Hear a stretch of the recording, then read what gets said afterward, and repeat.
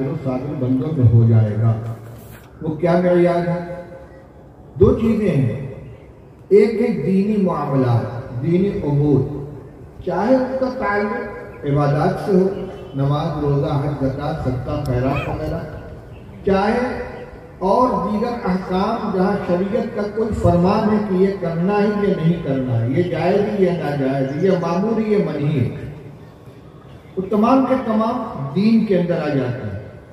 और कुछ चीज़ें वो हैं जिनका ताल्लुक माश से, दुनिया से है। खाना, कपड़ा, ज़मीन, जायदाद, सवारी, ये जो हमारी दुनिया की ज़िंदगी गुजारने की ज़रूरतें हैं। अल्लाह के रसूल सल्लल्लाहु अलैहि वसल्लम इरशाद फरमाते हैं कि जो बंदा अपने दीन के सिलसिले में अपने से ऊँचे इंसान को देखे, हर मामले में, दीन के मामला में, हर मामले में अपने से ज़्यादा दीनदार इंसान को देखे, उससे अपना मुआवजना करे और फिर उसकी इब्तदा करे। मन नज़र दीनी इला मन दीन में अपने से ज़्यादा दीनदार इंसान से मुआवजा करे। और जब ज़ाहिर बात है कि अपने से ज़्यादा दीनदार इंसान से मुआवजा करेगा तो अपने को उससे कम पाएगा, उससे निचली सतह पर अपने को पाएगा।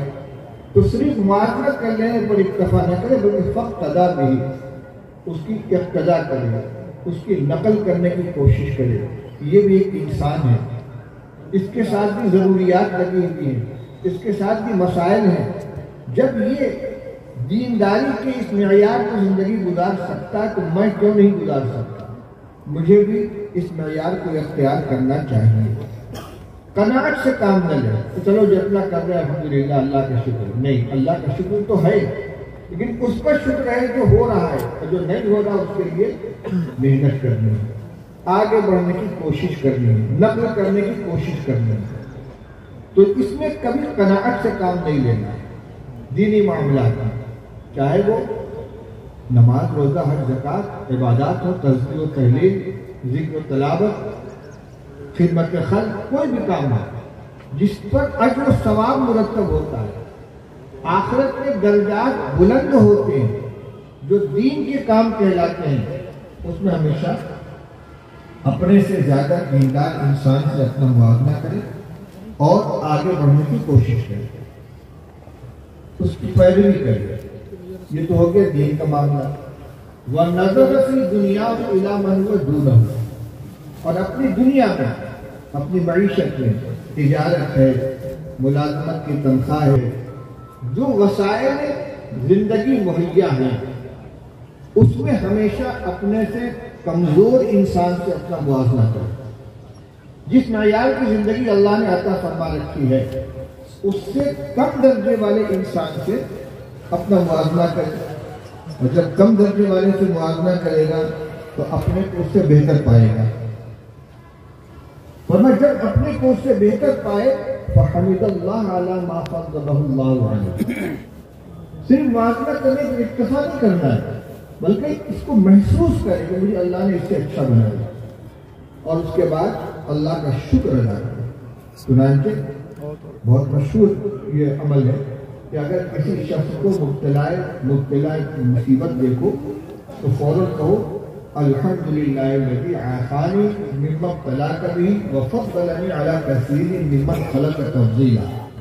अल्लाह का शुक्र है कि जिसने मुझको अपने बंदों में से बहुतों से अच्छा बनाया है और बहुत से और मुझे उस उस मुसीबत से महफूज रखा है आखिर अता फरमाइए जिसमें इस बंदे को अल्लाह ने मुबतला किया है।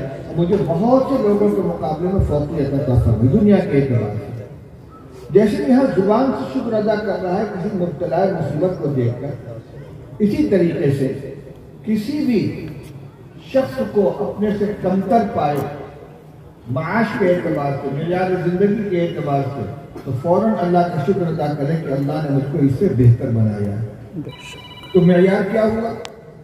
दीन में हमेशा नज़र ऊपर की तरफ़ और दुनिया में हमेशा नज़र नीचे की तरफ़। ऊपर वाले की पर नज़र डाले तो उसकी इब्तदा करें, नीचे वाले की हालत को देखकर अल्लाह का शुक्र अदा करें। फरमाइए, दो काम अगर आदमी कर लेगा खत्म शाकिरम सागर अल्लाह ताला उसको शाकिर और साबिर लिख लेंगे, ये बंदा शुक्रगुजार है। शुक्र पर जो कुछ हमारी तरफ़ से मिलता है सब इसको दिया जाएगा। और ये सब्र करने वाला है। सब्र पर अल्लाह की तरफ़ से जो कुछ मिलता है दुनिया और आखिरत, सब उसको मिलेगा। अब इसके बिल मुकाबिल आ जाएँगे फरमाए, वमन नज़र दीन ही इला मन व दोनों जो दीनदारी के अंदर अपने से कम दीनदार से अपना मुआवजा करता है, ज़ाहिर बात है जब अपने से कम दीनदार से मुआवजा करेगा तो आगे बढ़ने की न लगन होगी, न शौक पैदा होगा, न इरादा होगा। एक शख्स है, पाँच वक्त की नमाज़ मस्जिद में अदा कर लेता है। वो अगर बेनमाजी शख्स को मुआवजा करेगा तो ज़ाहिर बात पाँच वक्त की नमाज़ अलहमदिल्ला मस्जिद में पढ़ लेता हूँ। रकात मिलती है कि नहीं मिलती है, सच अव्वल में जाता हूँ कि नहीं जाता हूँ तकबीर उड़ा मिलती है कि नहीं मिलती है ताजिल अरकान का अहतमाम करता हूँ कि नहीं करता हूँ, इसकी कुछ फ़िक्र नहीं है। फ़िक्र ये है कि ये बेनमाजी मैं नमाजी बस इतफा कर रहा और अगर नज़र डाले उस शख्स के ऊपर कि जो नमाज़ पंजगाना सबसे अव्वल में तकबीर उड़ा से अदा करता है ताजिल अरकान की रियायत के साथ नमाज़ अदा करता है, उससे मुआवजा करेगा तो अपने को उससे कमज़ोर पाएगा। मुझे भी नमाज़ को संवारना चाहिए, पाबंदी के साथ आना चाहिए, मखलूक नहीं बनना चाहिए इब्तदा से जमात में शामिल होना चाहिए। कभी जमात छूटनी नहीं चाहिए। अपनी नमाज़ में बहुत सी कमियाँ नज़र आएँगी। अब उसकी नमाज़ अपने मुकाबले में अच्छी उसकी नकल करने की कोशिश करेगा। और जो बेनमाजी से मुआवजा करेगा, ज़ाहिर बात है आगे नहीं बढ़ सकता। एक शख्स जो जक़ात अदा करता है, बस, और कोई खर्च नहीं करता, किसी दिन के काम में। जब उस शख्स मुआवजा करेगा तो हिसाब करके जक़ात नहीं निकालता अल्हम्दुलिल्लाह मैं जक़ात निकालता हूँ। लेकिन उसके अलावा फूटी कौड़ी खर्च करने के लिए तैयार नहीं है। और एक शख्स वो है कि जो ऐसे शख्स को देता है, उसी अखबार ही हमको मालूम लिस्ता महरूम क्या इन फिलमाल हकन सिवा जक़ात, हजूर ने फरमाया समाज के अंदर कुछ हक जक़ात के अलावा भी है। हर खैर के काम में खर्च करने के लिए वो तैयार बैठा रहता है। हदीस पाक ने फरमाया कि दो आदमी काबिल रश हैं। रजुल मालन फ़सल हलकती एक वो शख्स जिसको अल्लाह ताला ने खूब माल अदा फरमाया। और फिर राय हक में खर्च करने पर उसको मुसलत कर दिया। वो फिर तलाश कर रहा था, कहाँ खर्च करूँ? कहाँ लगाऊँ? मस्जिद है, मदरसा है, रिफाए आम के काम है, गरीबों की इमदाद है बेवाओं की मदद है। मुख्तलिफ़ रास्ते जहाँ कोई मौका मिला खर्च करने का खर्च करता है। सिर्फ़ जक़ात निकालने पर इतफा नहीं करता। जब आदमी जक़ात निकालने वाले इससे मुआवजा करेगा तो अपने को बखील देख पाएगा। मैं कुछ नहीं कर रहा ये है अल्लाह का बंदा। मैं ये समझा रहा हूँ कि एक जक़ात अदा करने वाला जब उससे मुआवजा करता है, जब नहीं निकालता तो अपने को दीदार पाएगा। और जब हर कार्य शहर में खर्च करने वाले से मुआवजा करेगा तो अपने को कमतर पाएगा। फक्त अदा भी उसकी नकल करने की कोशिश करें। ये शाकिर साबिर है। तो फरमाया कि जो शख्स दीन के अंदर अपने से कम दर्जे के इंसान को मुआवजा करे और दुनिया में अपने से ऊँचे इंसान को मुआवजा करे, अपने से ज़्यादा खुशहाल, आसूदा हाल शख्स से अपना मुआवजा करे। अपना कपड़ा देखे, उसका कपड़ा देखे, अपना मकान देखे, उसका मकान देखे, अपनी सवारी देखे, उसकी सवारी देखे, अपनी आमदनी देखे, उसकी आमदनी देखे। जितनी चीज़ों का ताल्लुक दुनिया ज़िंदगी गुजारने के मसाइल इसबाब से है, जिनसे आदमी आसाइश और आरइश हासिल करता है। इनमें जब अपने से खुशहाल आदमी से मुआवजा करेगा तो अपने को उससे कम पाएगा। कुछ चीज़ें वो होंगी जो उसके पास होंगी, इसके पास नहीं होंगी। तो अब फितरत इंसानी है, दिल में कसक महसूस होगी। फरमाया नज़र असी दुनिया इला मन हुआ दूर इला मन हुआ फौक हो दुनिया में अपने से ऊँचे इंसान को देख असीफ अला मिनहा। फिर उसको अफसोस हो, उस चीज़ पर जो उसको नहीं मिली है उस दुनिया में से। एक शख्स है जो साइकिल पर चलता है और एक पैदल चलने वाला है। ये उससे अच्छा है कि नहीं? क्योंकि मोटरसाइकिल वाले से। कम दर्जे का है। एक शख्स जिसके पास अपना जाति मकान नहीं है। किराए के मकान में रहता है और एक के पास जाति मकान है। वो जाति मकान वाला अगर फूस के मकान में रहता है, कच्चे मकान में रहता है, इस शख्स को देखेगा कि जो जिसके सर पर साया नहीं है तो कहेगा, अल्लाह तुमने मकान तो दिया। लेकिन अगर पुख्ता मकान वाले, बिल्डिंग वाले को देखेगा तो अफसोस होगा कि मेरे पास तो कच्चा मकान है, मेरे पास तो कमज़ोर मकान है, इसके पास अच्छा मकान है। ये तो अलैहि वसल्लम फरमा रहे कि हमें हिदायत दे रहे हैं कि दुनिया के मामले में हमेशा तुम्हारी नज़र अपने से कमज़ोर इंसान को होगी तो अल्लाह का बंदा है। अल्लाह ने जितना उसको दिया तो तुमको उससे ज़्यादा दिया है।